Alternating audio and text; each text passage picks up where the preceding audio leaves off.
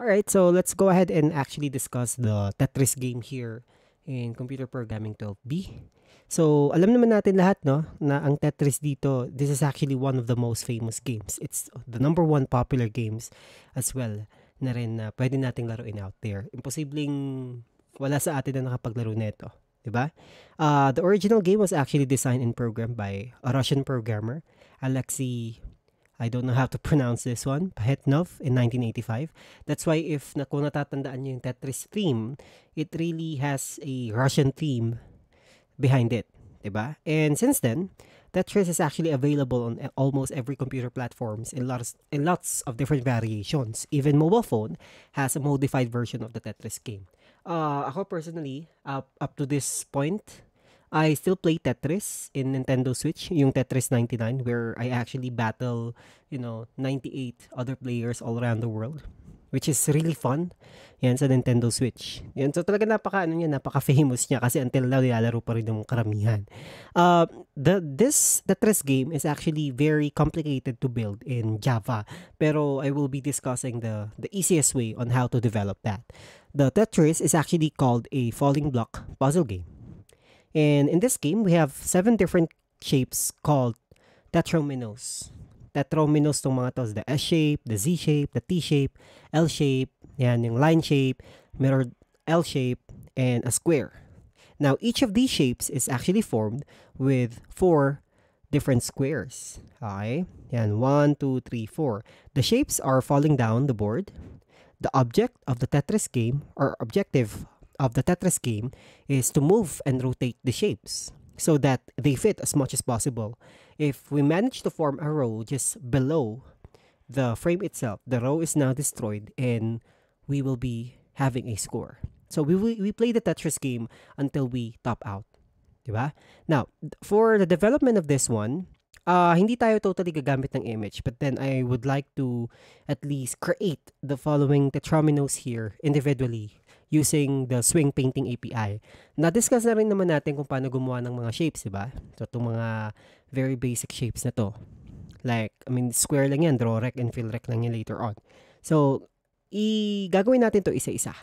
Okay?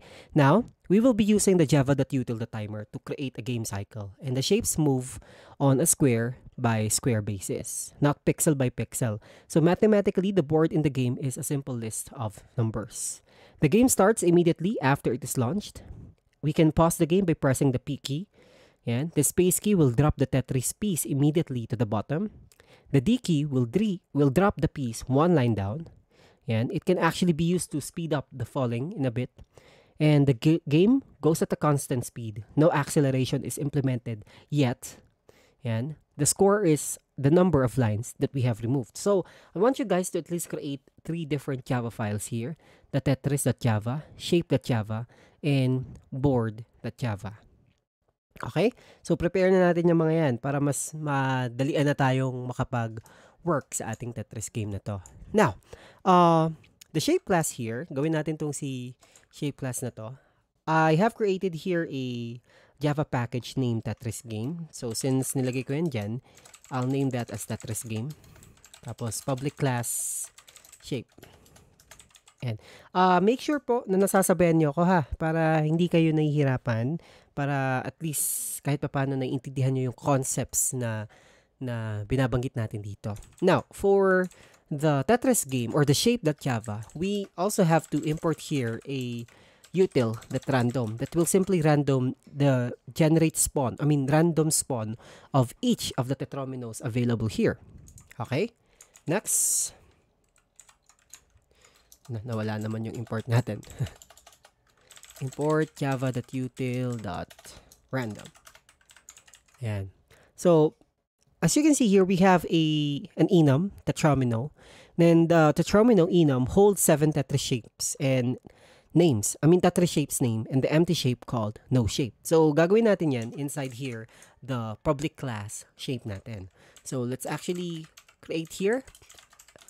Yan. Kumbaga, para alam lang ni program natin na we are actually trying to create a different sets or different set of tetromino. Tetro... Yan, mali yung spelling ko. Yan. Tetromino. And let's name that as no shape, yan, Z shape, S shape. Importante po ito ha, dapat kung ano yung pagkakasulat nyo dito, same lang din sa pagka, pagtawag natin sa kanila later on. Okay? Square shape, L shape, and mirrored L shape. Tama ba?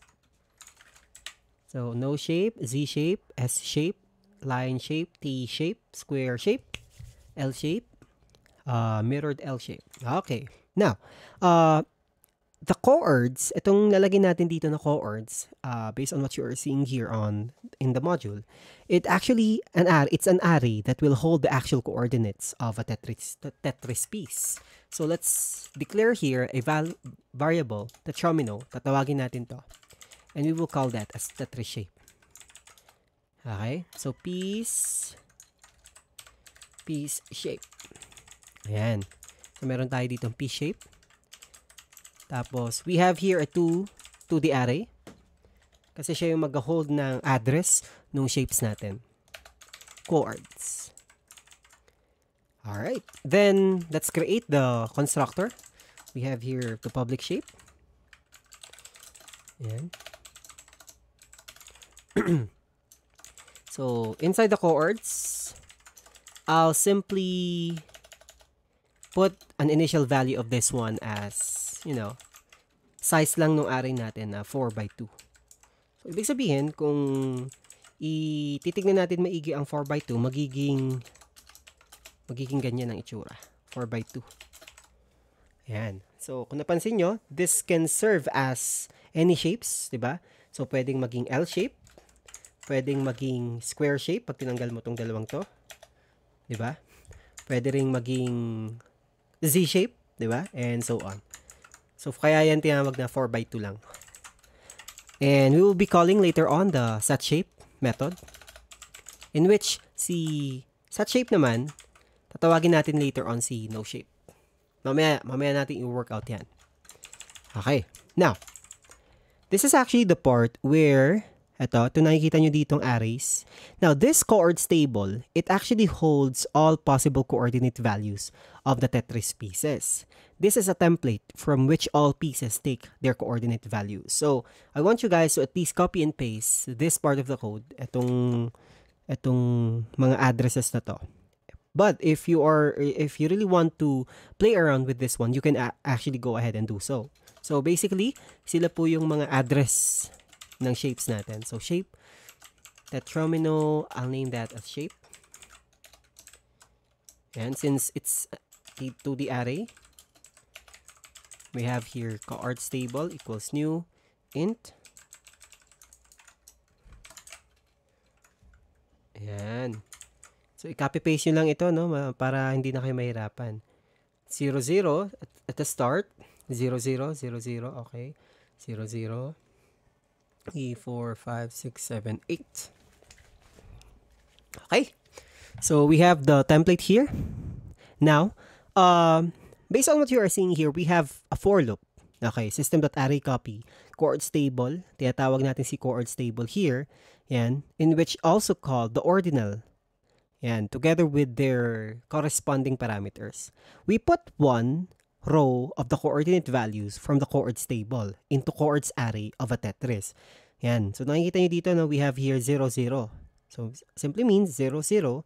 Pagka 0, 1, nandito na. Pagka 1, 0, nandito na siya. Yan. Note that the usage of the ordinal method in C++, an enum type is essentially an integer. So, unlike in C++, by the way, si Java kasi, Java enums are full classes and the ordinal method returns the current position of the enum type in the enum object. So, ito yun. Ito yung part na, kumbaga kung saan ilalagay na natin lahat. Based from the coordinate table here, we have an int i, a for loop. Ayan. i++. So, meron tayong i++. We have a for loop para mas madali. Uh, but by the way, this should be inside this. Ito. Nandito dapat yan sa loob. Yan. Para, para ano, para okay na okay, no? nasobrahan natin ng ayan. So far so good. We have an for loop and we have the system that copy, di ba? System that array copy.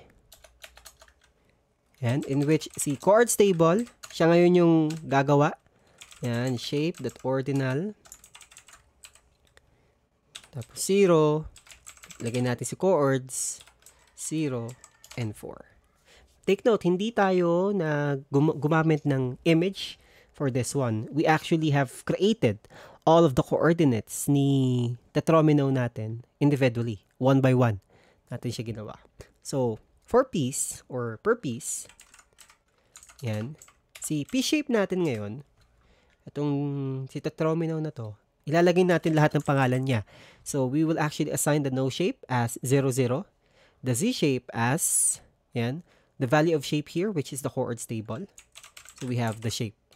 So, yung pangalan yan. So, basically, lahat na ng piece shape yan, will now be stored in the tetromino enum, or this is actually a variable, an enum. Piece shape, shape. So, ganun siya, no? Ngayon, let's actually work on with the data fields naman ni ni shape.java natin. So far, we don't have any errors, no? So, at least, mas madali siyang mag, mas madali natin siyang mapagana. Okay, so gawin natin si private void set x. We have here the index. We have here the x. So, lahat na ng ano to, no? Lahat na ng fields natin. So, si coords natin, we have here the basic index, si array, yan, si initial values niya, private void set y, ganun din, int index, yung address lang to, no, yung sineset lang natin yung addressing nito, index, tapos this time, y. Next, we have here the int x,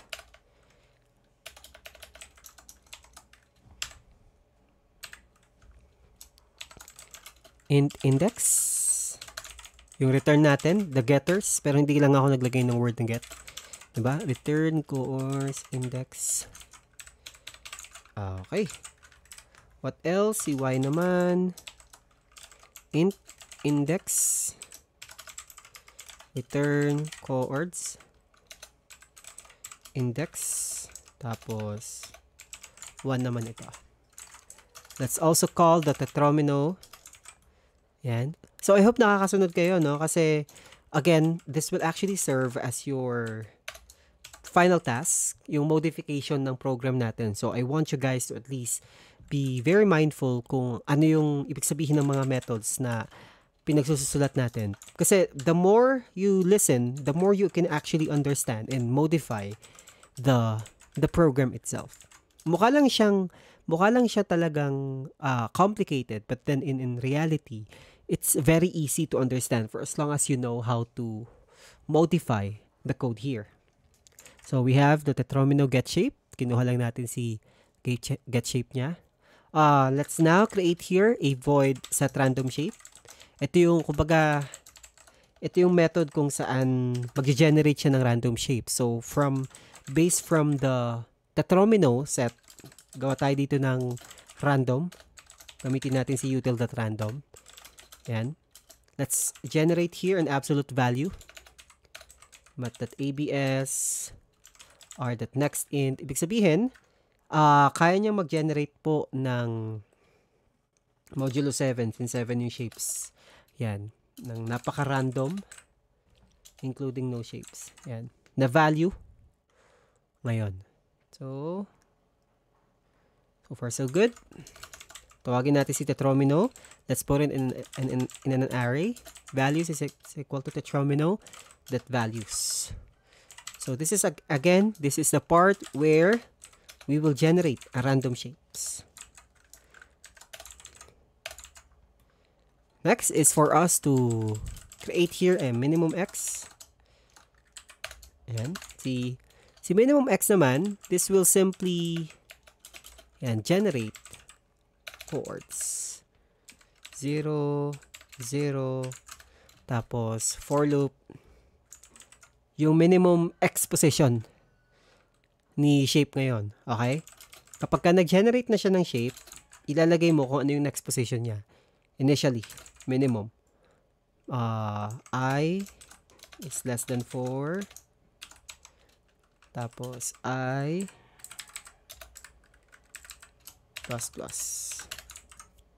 Okay, great. So, let's put that in an M. Kunin natin si minimum. Minimum um, M coords I 0. So, let's return the value of M. So, ganun din kay Y. Si Y naman, this time, yung position ngayon, minimum ngayon ni Y. Okay, so public int minimum Y. So we have here int m equals this time coords pero 0 and 1 na siya. Okay? So, for loop, we have here int i is equal to 0, yung less than 4 which is actually the maximum. Kasi saan natin nakukuha yung 4? Ito yon maximum address. Tapos i plus plus. We have here m is equal to mat that minimum m coords and 0. 1 pala, I mean. So, let's return m once again. Now, this part here, the ito nakikita niyo yung rotate left na to. This act, this code here can simply rotate a piece to the left. This one. Okay, the square doesn't have to be rotated and that's why we simply return the reference to the current object. Looking at the previous image will help to understand the rotation. Dito. So basically kapag ka ni-rotate mo si si straight, yan. So from for example, from negative 1 yan, I mean from dito, negative 1, pupunta at pupunta yan dito, mag-rotate siya na mag-rotate dito. So kaya tayo gumawa ng ng ng minimum x and minimum y para na rin sa positioning ni tetromino once it actually, you know, uh, rotated. So, gawin natin yan dito sa may program natin. We have shape, rotate left? Shape, rotate left,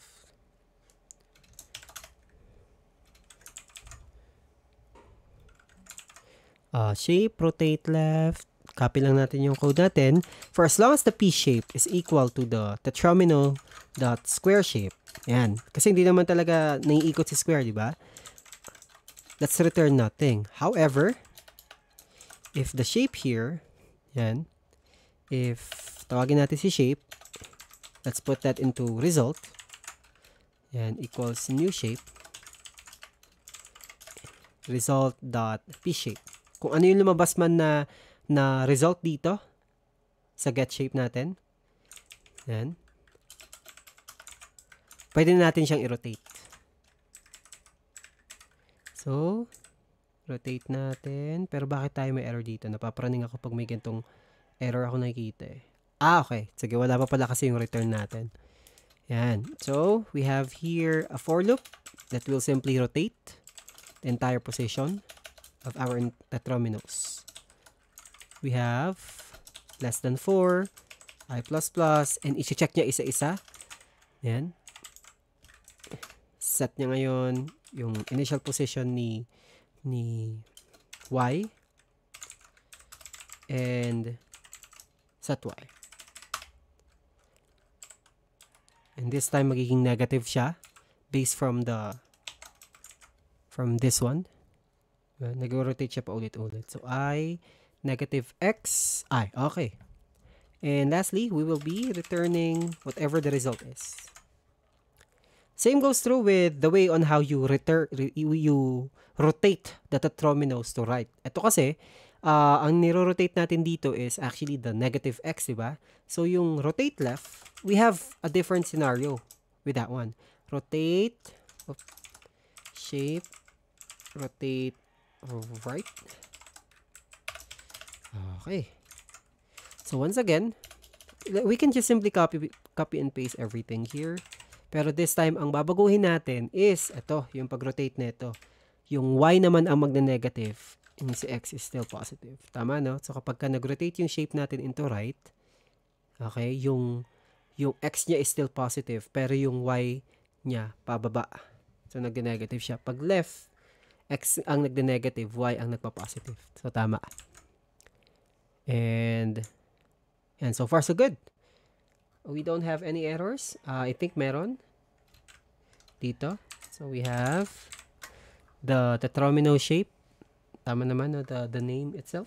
Okay. So, everything is actually perfect. Uh, I mean, working perfectly fine. So, I hope nakopy natin to ng maayos, no? Prepare lang natin. Prepare lang natin talaga si, si shape ngayon. Now, let's try to create here the main method, the Tetris at Java. Try na natin siyang paganahin para hindi na tayo mahirapan uh, na i-testing yung code natin. Okay? So, kindly tell me if may part kayo na gusto nyong makita or hindi nyo makita kanina, you, we can just go ahead and zoom in that part para masabayan nyo na ng maayos. So now, let's go ahead and create the main method. Okay, so package Tetris game. Tama, no? Public class Tetris extends JFrame. Ayan. So we have here public static void main string args and we import the following. Number one, uh, of course, si javax.swing jframe. Import din natin dito si jpanel. Okay. Let's also import here the event queue. And lastly, we import border layout. Yan. Si border layout kasi, siya yung magsiserve as, of course, the layouting of our entire board later on. So, dito, sa public static void main natin, main method, let's call the event queue dot invoke later and let's add here a lambda expression and in which I'll instantiate the Tetris method earlier, I mean, class na ginawa natin, which is, ito, ito gagawin natin pa lang. And let's set the visibility as true.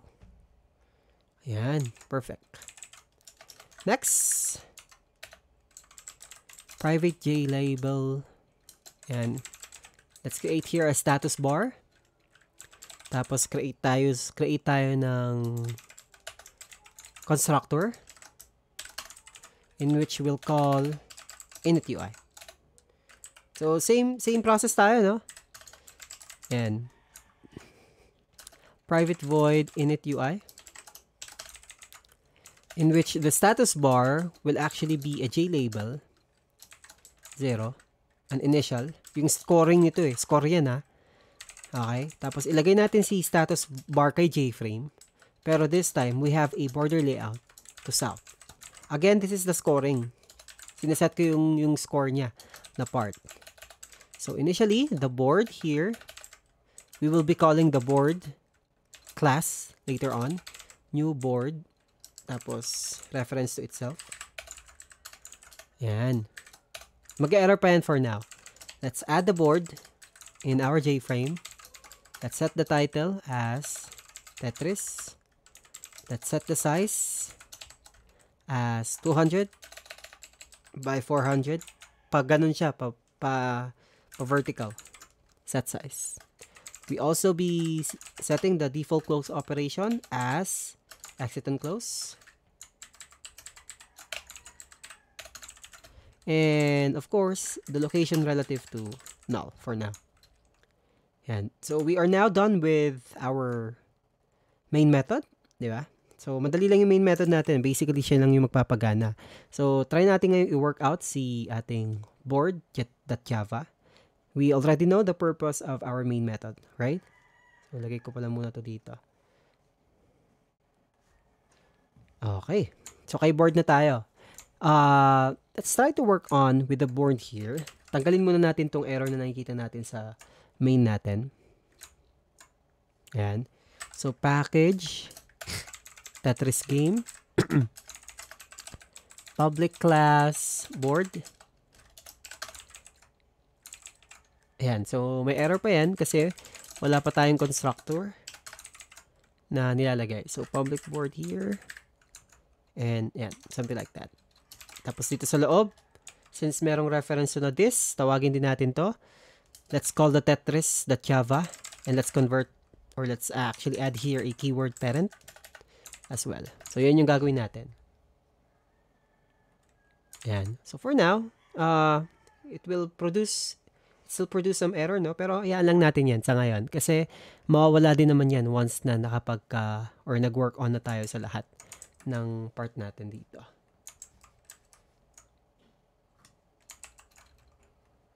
Yan. I actually have forgotten here to start. Yan. Tatawagin ko kasi yung method mamaya dito na start. So, we have the board. We have board. Board equals new board. Add in Tetris. Mamaya, work natin to.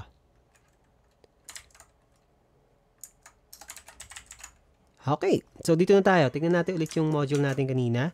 Uh, finally, we have the board.java file. This is actually where the game logic is located. Take note on that, ha?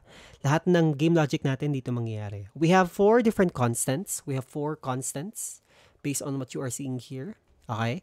We have the board width, the board height, and the period interval. It will define the size of the board. The period interval constant defines the speed of the game. So, gawin na muna natin to. Let's try to extend first the board. Extend natin as jpanel. Ayan. Of course, we will be importing the following. Import javax.swing, the JLabel, import, JLabel is for the text ha. So, jpanel, javax.swing, the JFrame, Ayan. So, public class board extends jpanel. So, nagwala ng error dito. Ayan. J, jpanel. J, wag na si jframe pala, sorry. Ayan. Si import java that out that color. Tapos si graphics. Tapos si dimension. Kasi ko-convert natin yan. Kukunin natin yung dimension ng board mamaya that out that event. We have here action event. We have another event here, which is action listener. We have another event here, which is key adapter. Tapos we have another event, which is key event. I think, importante muna import natin yung mga yan. Next, we have the constants. Okay, itong apat na to, let's actually add them one by one. We have private final int, uh, int board underscore width, which is set to 10. Tama ba? Yan. Tapos si height, which is si height naman, board underscore height is equal to 22. Tapos si interval natin, period underscore interval which is 300. Okay. Yung tatlong yan. 10, 22, and 300. Now, uh, we will we need to initialize some important variables as well. We have here the is falling. It simply determines if the tetra shape has finished falling and we then create a new shape. The is started is used to check if the game has started. Likewise, the is pause is used to check if the game is paused. The num lines, num lines removed counts, and it counts the number of lines that we have removed so far. The cur x and the cur war determines the actual position of the falling Tetris. And yan, gawin natin siya muna. Importante na alam natin itong mga to eh. And sa module nyo, naka-indicate naman kung para saan yung mga parts na yun, di ba? So, yan, sinulat natin yan para mas maintindihan natin kahit na kung sakaling kung sakaling hindi man kayo makapanood ng ating conference for today. So we have here private timer timer but then uh nagkaroon ng error. It's because we have forgotten here to add or import Javax at swing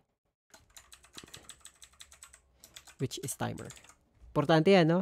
Gawin natin dito si timer. Now, uh, an additional step here is for us to import Ayan. Import natin si Tetris game. Lahat ng nandito kay shape for the tetrominos. Okay. Kukunin natin yan. So this simply means that we will be using the tetromino terminology or tetromino variable as an official variable in this board.java file natin. Diba? So, in-import natin to. Yung Tetris game is actually the name of your package. Shape is the name of the class kung saan nanggagaling si enum natin na tetromino. So, this served as, again, a variable. Valid or legitimate variable for us to use. So, public board, we have, I mean, dito, private timer. We have private boolean, which is, is falling finished. Let's add an initial value of false we have private boolean is paused equals false. Another private I mean yeah private int num lines removed equals 0 so initially tapos si cur x natin oops. Cur x is equal to 0 as well. Tapos si cur y is equal to 0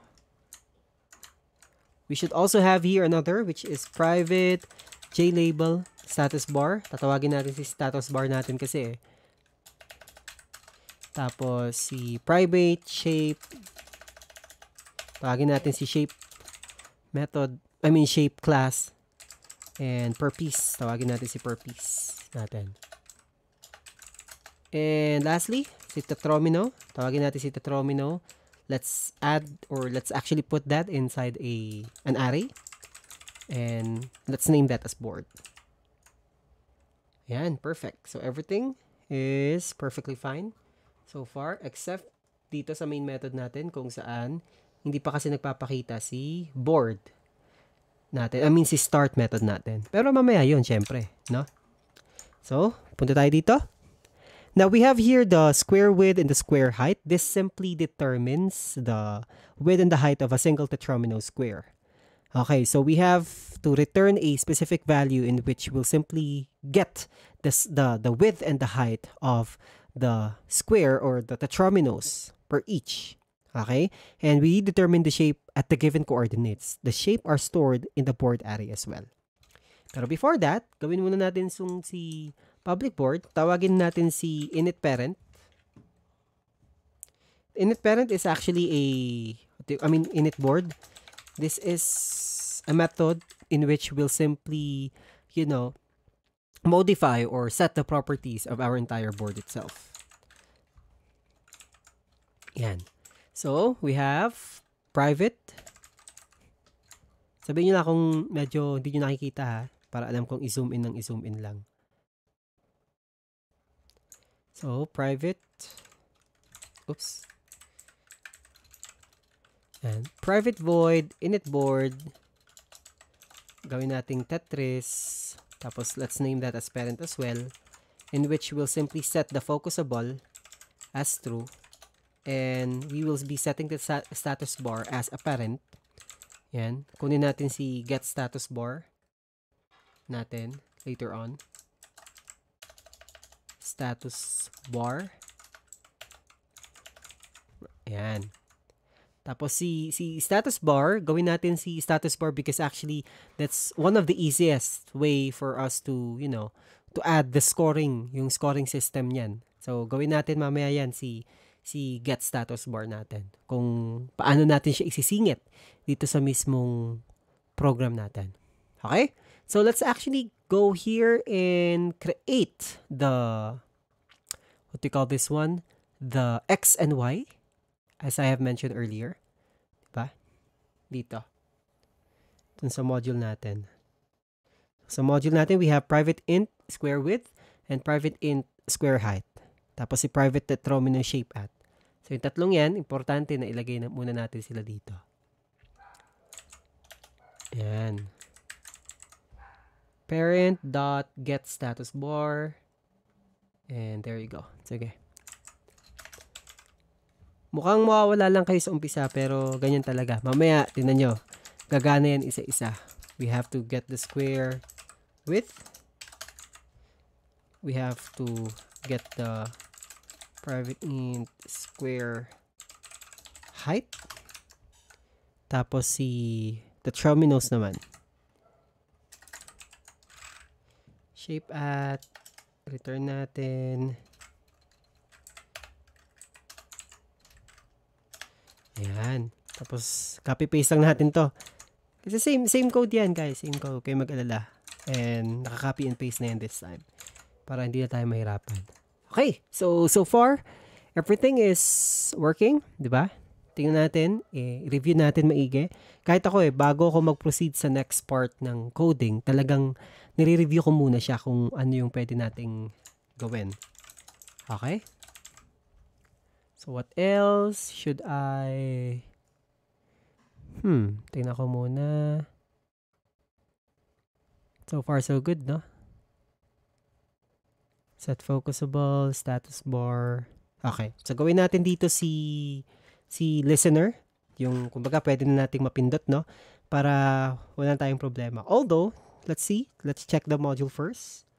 We will be creating a new current shape and a new board. Uh, ito, mga methods na to na tatawagin natin. So, mamaya na to. Mamaya na to. Isa-isa muna natin siyang gagawin. I actually prefer working working on with of course yung key listeners natin para hindi na ako mahirapan. Di ba? So dito, I added the status bar which is tama naman, the J label border which is south, add board, board at start. Okay, so far so good. Uh, lagay na tayo ng key listeners. Hindi ko kasi minention dito yung key listeners sa module. Pero usually dito siya sa init board. Pagkatawag mo kay constructor, dito siya pupunta kay init board. Tawagin niya dito yan. So add key listener new T adapter. Remember? Kung para sa ng T adapter natin, di ba? Siya po ang may pakana ng pagpindot natin ng lahat ng pindot-pindot na mangyayari sa program natin. Right? So, let's work on dito sa may pinakababa. We have class T adapter in which will simply extends key adapter. Ayan. So, inside here, uh, we will be having or adding, uh, of course, an override annotation. Diba? Override annotation for public void key pressed. Tapos si key event e yan. Ayan. So key event e, natanggal na ba yung error natin dito? Hindi pa. Bakit nga? Hindi pa rin natatanggal yung error natin dito. Tignan ko ha kung bakit. Uh, create class, create inner class. Ah, double R. Okay. Ayun, tagal na. Now, let's create here, piece. Yung piece natin, kung natatandaan nyo, itong curve piece, uh, this will actually call the shape. Dito, sa shape na to. Now, if the piece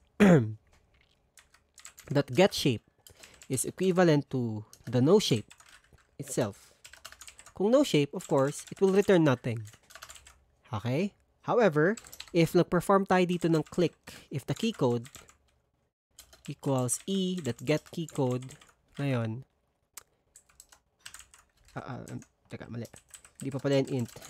Yan if statement muna yan.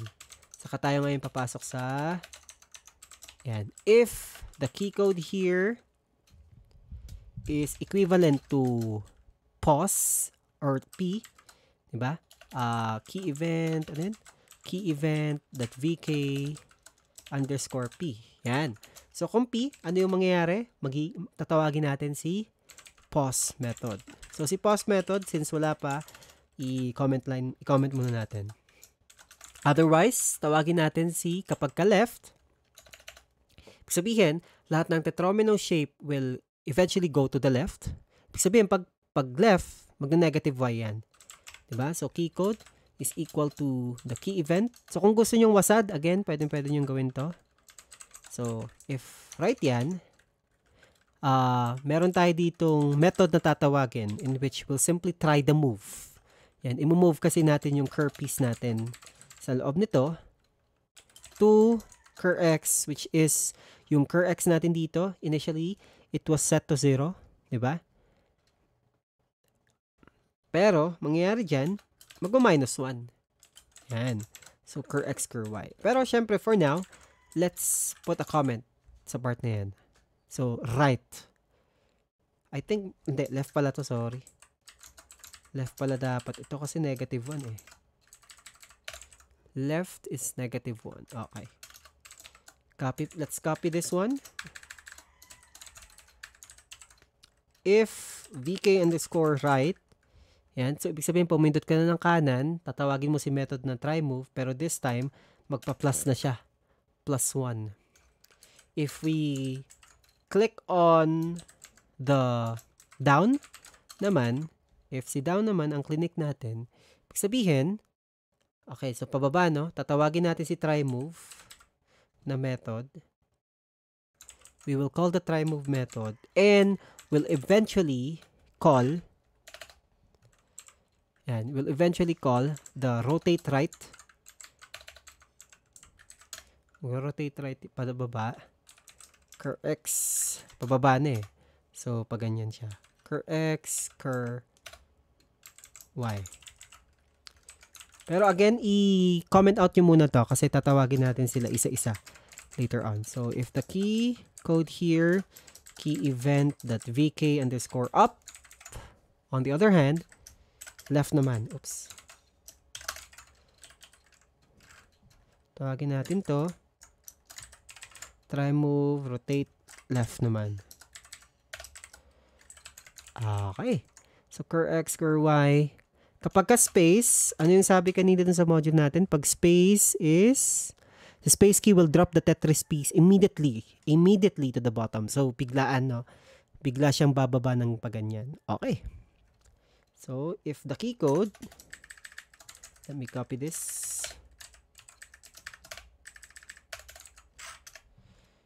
And if vk up, vk underscore space, for example, yan, magda-drop down siya. So, tatawagin natin si drop down method later on. Tapos, kapag ka D, ibig sabihin, pag D, one line down lang yan. So, call natin ulit si vk underscore D. Meron ng pause, no? May P, may space, may D. So, this time, tatawagin ko mamaya si one line down na method. I'll name that as one line down method. Huh, so far so good. Okay, so let's go back to our module here. We will be creating a new current shape and a new board. So, balik tayo dito sa may part natin dito. Sa may init board natin. Okay.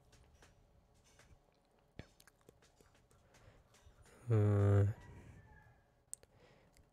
na nababahala talaga ako dito sa sa status bar na to. Ah. Sige, mamaya ma matatraba, ano, tatrabahuin kita mamayang konti.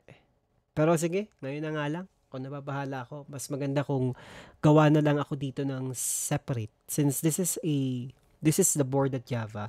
In our main method, taas ko lang to ha, para mas makita nyo. In our main method here, kasi parent ito that gets status bar. So, this simply means kung parent, tatawagin natin si Tetris at Java. This one. So, sabihin, we have J label get status bar. Ayan. So, dapat mawala ng error nito, no? Status bar. Meron pa rin. Sige, ayaw talaga niyang, ayaw niya talagang mawala. Ah, hindi. Small b pala kasi to Dapat to is big letter B. Ayun, finally, nawala na yung, ito. Yun lang, ito lang dinagdag ko, no? Kasi nakaset siya sa parent, eh. Kahit ako na, na nawala yung memory key dito sa part na to eh. Status bar is equal to parent. Ibig sabihin init board in which we'll simply call the Tetris. Correct. So we still have an error here which is a start in which a separate, okay? This is a separate method that we will be calling inside the Java. I mean dito sa may board that, that Java natin. Next. Balik tayo ulit sa dito. So, okay na tayo dito sa key adapter. Okay, T adapter okay na rin. Uh, let's now go ahead and create here the following methods. We have clear board, we have new piece. So that can only be possible by simply adding here a method.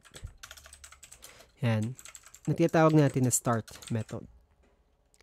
Si start method kasi, siya yung tatawag niyan. At tong dalawang to. Yan. So we create a new current shape and a new board. Yeah, we have the start method, curpiece. Yeah, we have the curpiece is equal to new shape. Tawagin natin ngayon si si board is equal to new tetromino. Let's now set the width and the height. Oops. So let's set the width and the height. Let's call the clearboard. Clearboard method. And see, ano yung isa? New piece. Method here. And let's set the timer. We create a timer. The timer is executed at a period interval, which is actually, ilan ang period interval natin? 300 milliseconds, creating a game cycle. Okay. So timer here is equal to new timer with the period interval And apparently, tatawagin natin si game cycle in which is a separate method as well. So, start natin si timer natin. So, new game cycle. Ayan. So far, no, okay natin, no? Wala, wala namang nagiging problema sa output natin. Dito sa may mismong, sa may mismong program na ginagawa natin. So, new clear board, new piece.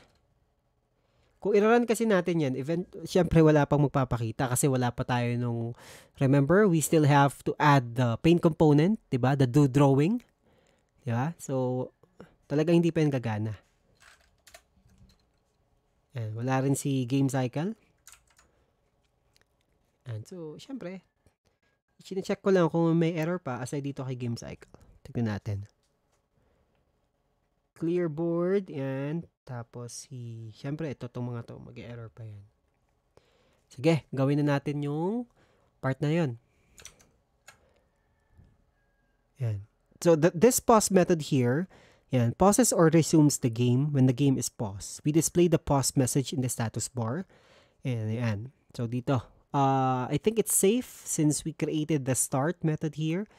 Ga, tanggalin ko muna tong si game cycle natin na error. Yeah? Para para hindi tayo mahirapan. Okay? Para hindi tayo mahirapan na mag-ano dito. Mag mag-set. We have here private class game cycle. Yan. In which we will be implementing a an action listener. Yan. So, syempre may error pa yan, pa yan for now kasi wala pa yung action listener natin dito. So, if that's the case, we have to override a public void action performed. Action event oops event e. And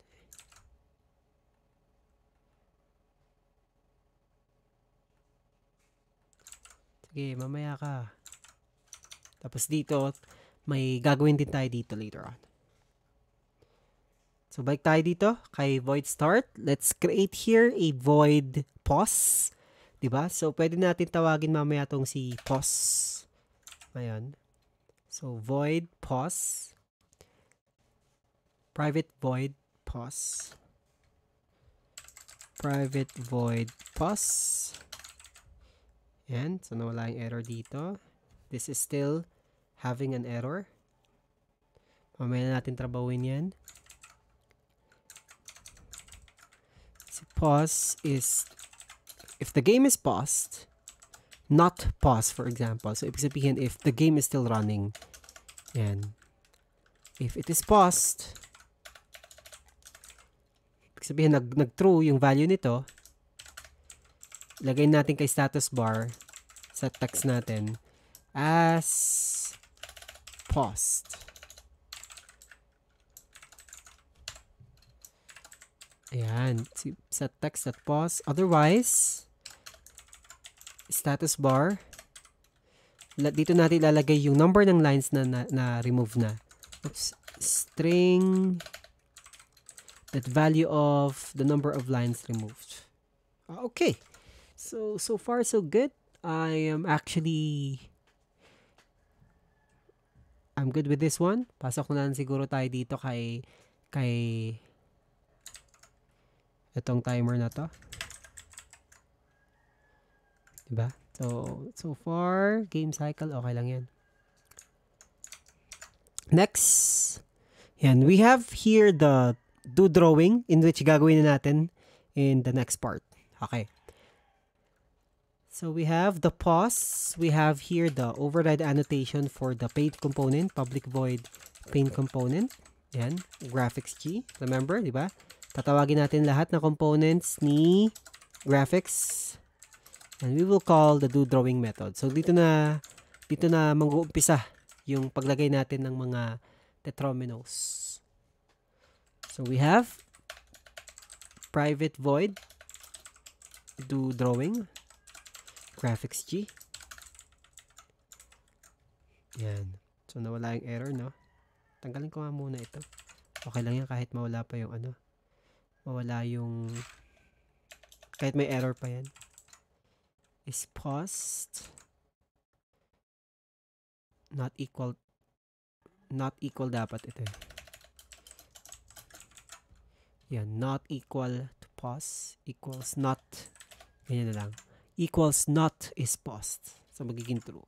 And sorry ha, inaayos ko lang ito. Medyo magulo ko dyan sa part na yan. sorry, sorry. Next, meron tayong do drawing dito. Ah, uh, si do drawing, and this one, In the do drawing, we draw all the objects on the board. The painting has two steps. In the first step, we paint all the shapes or remains of the shapes that have not that have been dropped to the bottom of the board. All the squares are remembered in the board array, and we access it using the shape at method. In the second step, we paint the actual falling piece. Ito yon. Yan. If we press, press the select, the space key in which mag-drop down yan mamaya. Mamaya natin gagawin yan. Ito munang si do drawing ang trabahuin natin. So we have here once again two different steps. So para mas safe, copy na lang natin yan. Copy din natin tong second part na to. So the si do drawing, we have here dimension. Kunin natin yung dimension. Get size. Yan. Tapos si int board top. Ito pinakataas. Kukunin natin si int, the size, the height, minus the board height, multiplied by the square height. Ayan. So let's do the first part here. Itong drawing ng object. Pwede natin itong i-copy and paste na lang. Diba?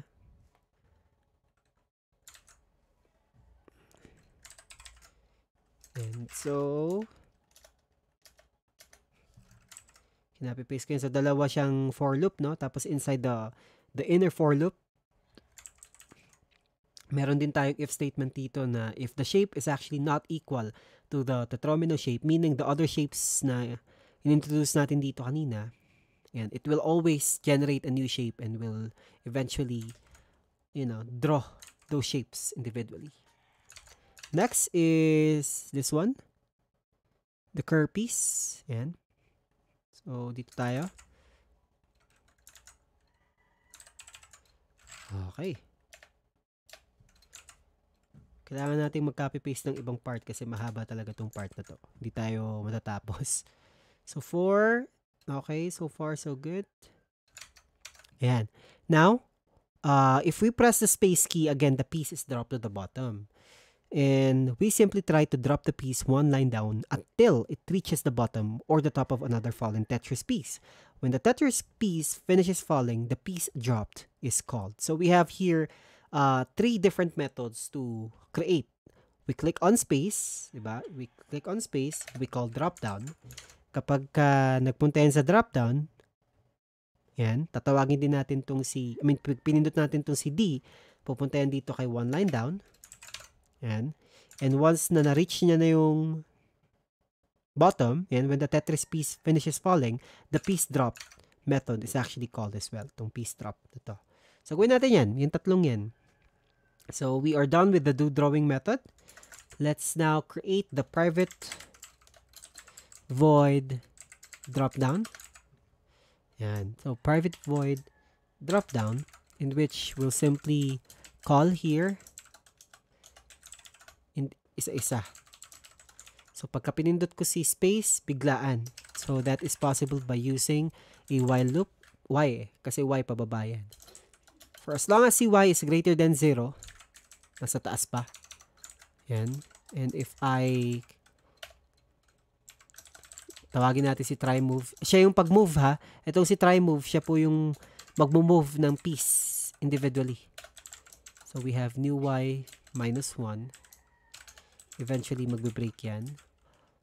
Tapos new y minus minus. So, new y minus minus. Tawagin din natin si dropped na method. So, if not try move, try move siya yung magbababa ha. Again, siya yung magbababa. So, I think it's necessary muna sa akin na gawin si try move, no? Para at least mawala na yung error natin kay kay try move. Or gawin muna natin yung lahat ng methods. I think mas safe gawin ko muna lahat ng methods. Uh, sige, mas maganda nga. Gawin ko muna lahat ng methods. So we have drop down. We have one line down. Okay. We have private void one line down. Yan. T1 line down, madali lang yan eh. Kasi ang purpose yan, isa-isa mo siyang ida-drop.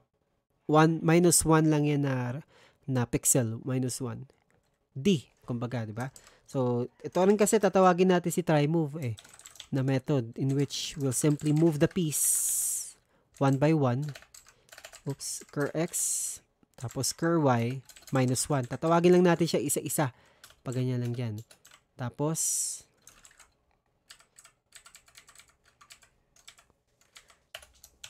ayan. Piece drop. Tatawagin din natin si piece drop na ngayon. Now, if na-reach niya yung, yung part in which uh, equal sila, okay, equal sila ng, ng shape sa lahat, sa pinakababa, magkakaroon tayo ng piece ng ano ng clear board. Yan tawag natin na method. Tama ba yung ano, clear board? Ayan. The clear board method fills the board with empty tetromino shape. This is later used at the collision detection. Mamaya yan. So, we have the drop down, one line down, we also have here the clear clear board.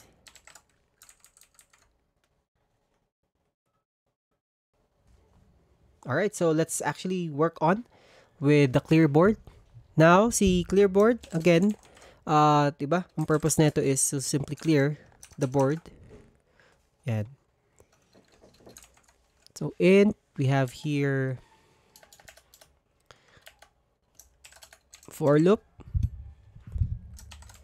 in which we'll simply call the i0 i board height kasi i-delete niya eh.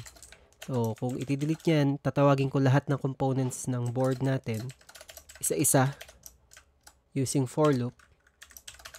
Ayan. Tapos lagay tayo dito ng tetromino.noShape. So, yun yung idea nun eh. Kapag ka magki-clear tayo ng board, tinatawag mo lang talaga si no shape. As simple as that. Okay? For the piece drop,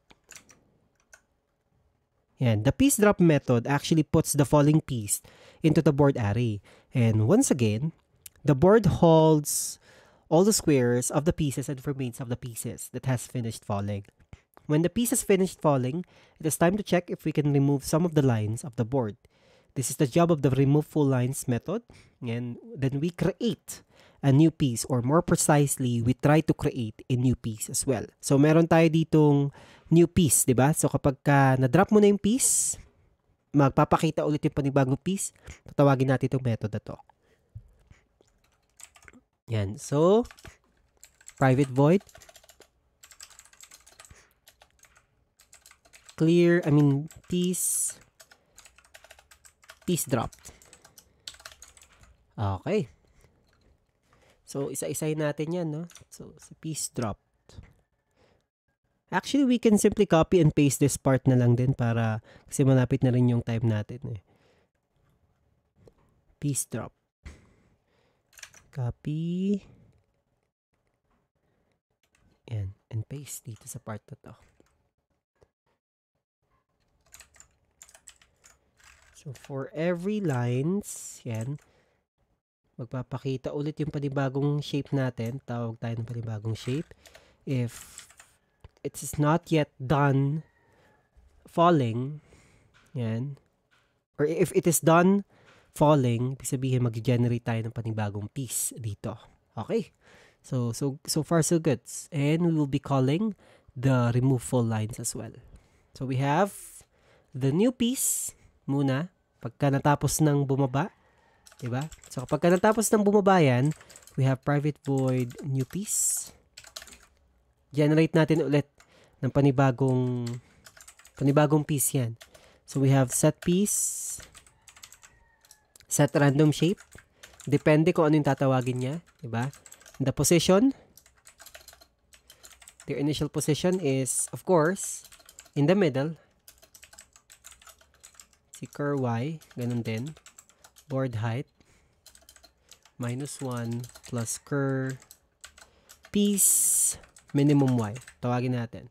So, nasa middle ng board width, tapos yung height niya nandito sa, nandito sa part na to, pababa. Okay. If it is not moving, yan. Cur piece, cur x, cur y. What will happen? Si piece, that set shape, yan, i-ano natin kay no shape. Tawagin natin si no shape ngayon. Tapos, timer dot stop. Oops. This, is, this should be stop. Yan. And, let's put here a message. So, kapag ka hindi niya na, pagka, pagka ubos na, sabihin, pag narating niya ng pinaka-top, string dot format, lagay tayo dito ng message na game over, score, let's create, or let's simply reference to the score num lines removed. Let's set that let's that let I mean let's set that to the status bar. Yan. Yung message mismo. So new piece. Yan na. So I think we are now ready to create the try move. The try move method here is actually somehow uh, it's challenging to to implement kasi nga ang ang purpose lang natin dito is once na nag-move yung yung piece natin from left to right, right to left, or from top to bottom, it will always return a specific, okay, a specific boolean value which is true or false. So it tries to move the Tetris piece. The method returns false if it has reached the board boundaries or it is adjacent to the already fallen Tetris pieces. Kapag kadumikit na siya dun sa mismong Tetris piece natin. So, gawin natin yan. We have private, uh, boolean, try move, Diba? Try move. We will be calling the shape. Yan, yung magpapagalaw niyan kasi. Nala, I'll call the new piece. Tapos si, tawagin ko rin si new x. Int new y. Tapos, let's simply copy and paste this one. Para, this is actually built-in algorithms na rin ng Tetris eh.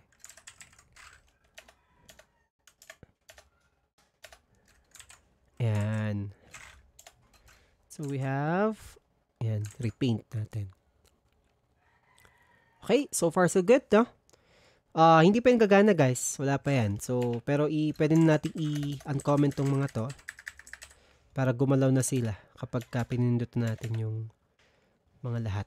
Okay, so far, so far, return true. Great. Next is for us to remove the lines dito. 'Di ba? Once na nag, naging nakumpleto yung isang buong board natin sa baba, yan, magi-remove tayo ng full lines naman. So we have here private void remove full lines and for the number of lines here we can just simply, it's it's safe na i-copy natin tong yung for loop.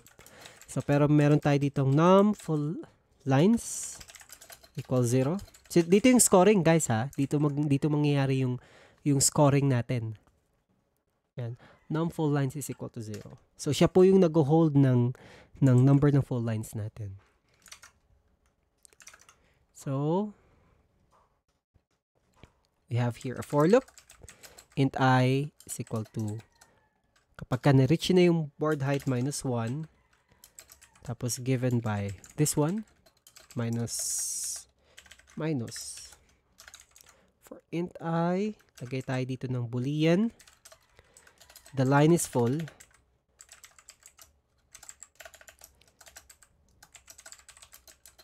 equals true line is full, full is true. Another for loop here in which we'll simply check if the line is full.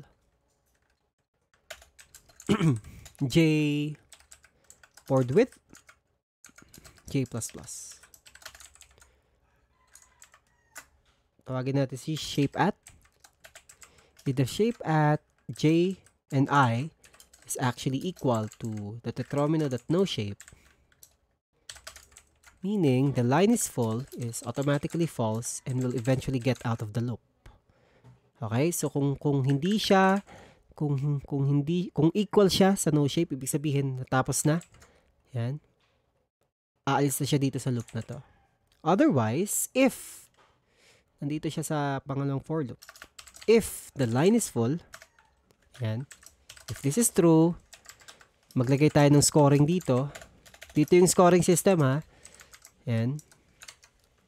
And we can just simply copy and paste this one.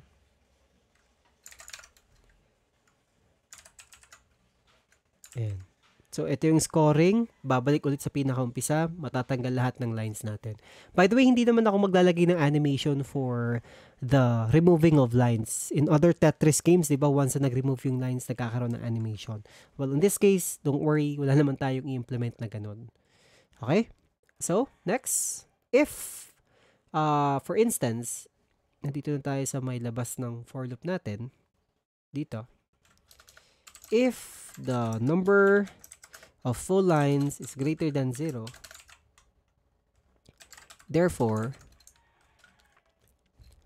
number of full lines, number of lines removed pala, number of lines removed is equal to added to num full lines. Yan. Padagdagan siya. Lagay natin yun ngayon sa status bar. Dot set text string that value of num lines removed. So kung ilan na yung number na, na I mean lines na na-remove niya. Is falling finished, of course, tapos na, 'di ba? Saka ngayon papasok kay Kerpies. In which we'll set the shape as tetromino.noShape. So, tatawagin natin si noShape ngayon. Yan, easy. One, two. So far, so good. Next part of the code here is the game cycle. Diba? Tapos meron din tayo ditong do game cycle in which we'll simply call the update method and we'll simply repaint the entire thing here. Pero, uh, kahit na meron na kasi itong si game cycle, we are actually still missing one specific thing to do. In, ang gusto natin mangyari dito is actually to paint everything. In this case, wala pa tayong, hindi pa natin na-design si, si Tetris natin. Wala pang design si Tetris na set lang natin talaga si si coordinates niya, na set lang natin yung movement niya, na set lang natin yung rotation, pero hindi pa talaga natin na fill rec. Hindi pa talaga natin siya na-drawing sa mismong program natin. Yun yung kulang natin dito eh. Uh, kung napapansin nyo itong tetrominos na to, it also has an effect in which para siyang 3D. 'di ba? So apparently mag, mag maglalagay tayo dito ng parang 3D 3D-ish effect sa mismo ano natin. Okay?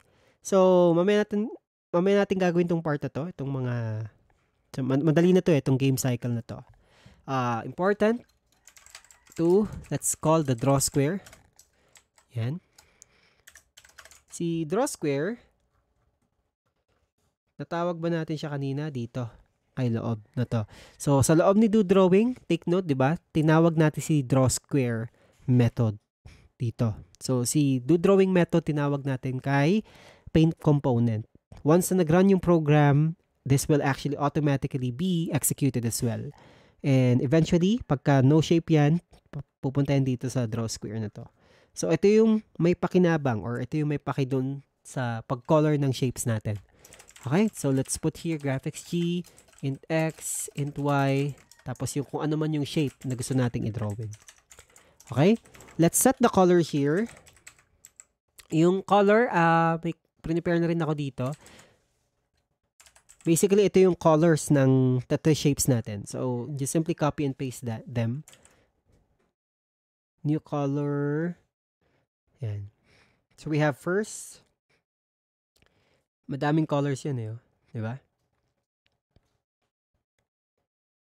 So, randomly mag-regenerate to kasi eh. So, we have color color is equal to colors dot shape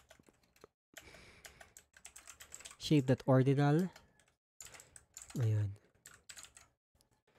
ayan so set natin si color. Ayan g dot set color. Lagyan natin kay color. Tapos fill rec na tayo. Ayan fill rec na natin ng x plus 1 lahat na ng rectangle natin. Square. Oops, square width. and Square width minus 2. Square height minus 2. So, fill rec lang. Fini-fill rec lang natin siya isa-isa. Let's also set the color into much brighter. Color that brighter. Tapos, gawa tayo ng draw line dito. Yan. For the draw line, we have the x and y value together with the square height, minus 1 comma x y and draw line square height minus 1 xy. We have draw line another draw line here. X and y value naman ito. Tapos square width minus 1 x and y. Nag draw line tayo. To create the 3D effect nung mismo ano natin. Okay? So g that draw line x plus square height. This should be plus. And this should be plus. Then we have another set of color here. And set color, color that darker this time. Para mag-create lang siya ng 3D-ish effect. We have draw line as well. Uh, x plus 1 this time. y plus square height minus 1 x plus square width minus 1 y plus square height minus 1 dami ano? So siniset lang natin yung mga parameters ni drawline dyan. Nag-draw lang tayo basically in line. Pag-aralan natin kung paano tong tong drawline na to no? So we have two different points and their coordinates as well. So draw line and square height minus 1 square width minus 1 square height minus 1 and another this time x plus square width minus 1 y plus square height minus 1 oops comma x plus square width minus 1, y plus 1. So, pinaliktad ko lang, no? Pinaliktad ko lang yung pagkakaset ko. y plus 1. So far, yan. Mag, sure na yan. Magdodrawing na ng, ng colors yan sa may mismong program natin.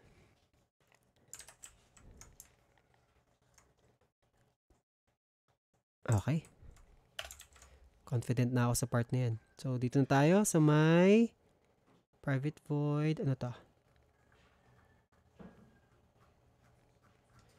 Bakit tayo nasa loob ng isang method. Saan nanggaling to? teka, teka, teka. Saan nanggaling tong method? Ano, I mean, curly braces na to. Gusto kong malaman. Baka kasi sumobra lang pala eh. So, this private void here, and, ah, okay. Kung meron tayong magiging error man dito, parser na siguro. Yan, so far, okay naman yung class, nandito lang. O, ba kahit ako nagtataka kung bakit saan nanggaling yung yung curly braces na yun. Pero don't worry, it's normal. Kapag nagko-code ka, ganyan talaga. However, may error dito. yon yung game cycle na yan. So, sa game cycle na yan, dito na yung part kung saan trabahin na talaga natin si game cycle, no? Uh, still, it, it still produces an error sa may end natin. Tinanggal ko pala, no? Yung game cycle natin dito. So, i-work on natin yan dito after ng private class natin. So, we have private class game cycle implements action listener kung saan in-override natin si public void action performed ulit. Uh, action event E. 'Di ba? Tapos do tawagin natin si game cycle. Now, uh, the game cycle here, okay, we call the do game cycle method creating a game cycle. This game is actually divided into game cycle and each cycle updates the game and redraw the entire board itself. So sa loob pala nitong ni game cycle, we have a private void do game cycle in which we'll simply call an update method, siya yung magdo-drawing, and repaint method every now and then. So public, I mean private void update method. Tawagin natin si update method. If the game is paused, Let's do nothing. Diba? Let's, let's return nothing. If the game is actually falling finished, ibig sabihin, is falling finished is equal to true or hindi. Kasi tapos na eh. So, magiging false pala ulitin. Tama. It is paused. It's falling finished. Let's call a new piece. Yan. Otherwise, tawagin natin si one line down.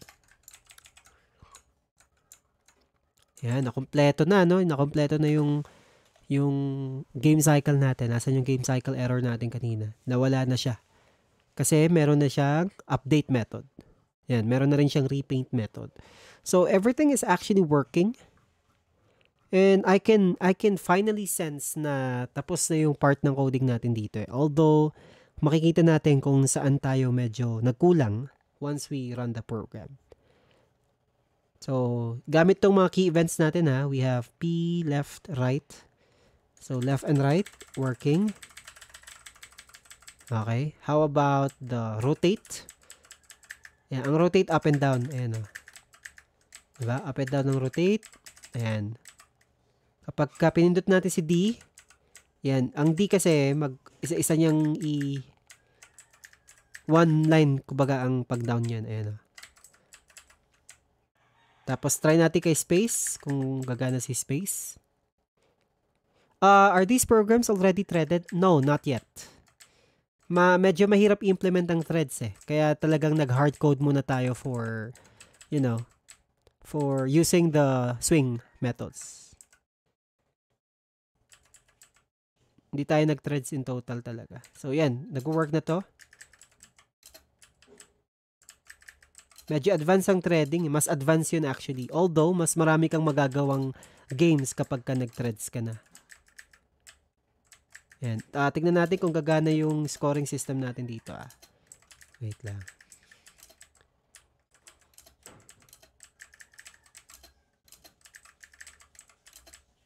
Ito. Ayun, gumana, no? So, therefore, working ang scoring natin kapag ka may nag-remove na lines, automatic din na nagkakaroon ng score. So, tapusin natin yung game. Ayun. Game over. Yung score natin is 4. So everything is working perfectly fine, no? Review natin ulit yung code natin isa-isa. Uh, ah, trabuhin natin si Tetris at Java. So if in case na may nakalimutan kayong part dyan, makikita nyo naman ulit siya dito sa may code natin. Okay, so kindly take a screenshot of this one.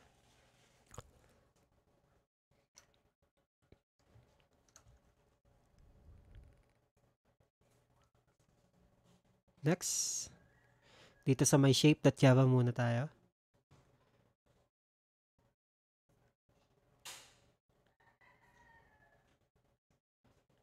Ayan.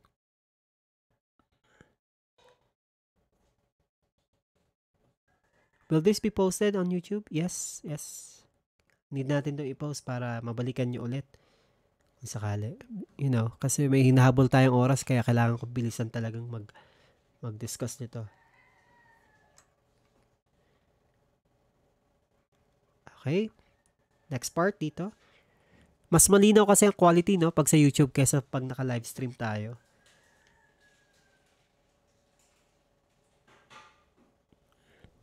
And lastly, dito sa part na to.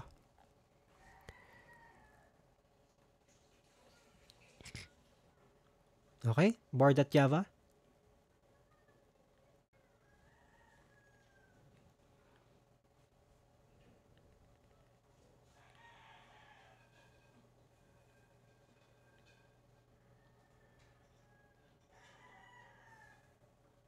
And start and pause.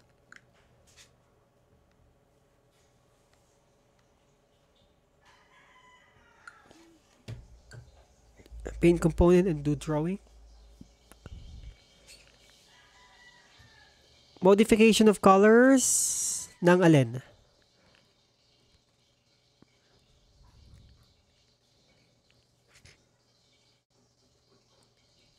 Uh, I think no need na kasi the colors are actually built in. 'Di ba? Pero if you want to play around with the colors itself, tinuro ko na yun before actually kung paano mag-set ng different colors using RGB values. ba? Diba? So, punta tayo. Antayin natin yung part na nandito na tayo sa may part ng colors. Ito. So, this is actually a built-in colors, pero pwede, pwede nyo naman siyang i-change. Ayan, no? So, pwede nyo siyang i-change. Automatic din namang mag-change yung value ni the color dito based from the RGB values itself. Can we use gradients? Actually, yes. Pwede, pwede kayo mag-gradients para mas magandang itsura, no? Yeah, pwede. Pwede. Parang yung ginawa natin, kung natatandaan yung discussion natin ng gradients before sa may Java 2D natin na midterms, gumamit tayo ng gradients doon. Yes, dito lang yan. Imo-modify nyo to. Ibig sabihin, two different colors ang pwede nyo nang magawa sa isang gradient. And sa game cycle. By the way, this is actually a code na pinadali na to eh. Uh, some of the algorithms here was built in already. Diba? So, ibig sabihin, nagawa na siya. Kaya, kung napansin nyo, nag-copy-paste tayo ng ibang parts ng code dito. Kasi, you know, every time na nire-recreate si Tetris, same algorithm lang din talaga ang ginagamit from, you know, from start to finish. So if you are planning to recreate the Tetris game using your own version or using your own modifications and added or would you like to add some mecha- mechanics, madadali madadalian na kayo dito. Kasi yung algorithm, especially yung sa sa movement pa lang, napakadali na. Diba?